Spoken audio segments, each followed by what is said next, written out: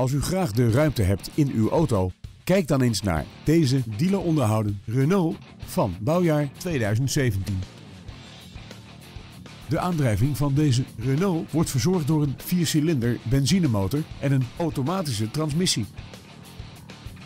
Deze Renault is aangekleed met een dashboard met spraakbediening, een panoramadak en climate control. Als speciale veiligheidsfeatures heeft deze Renault bovendien een accident avoidance system, lane departure warning en verkeersborddetectie.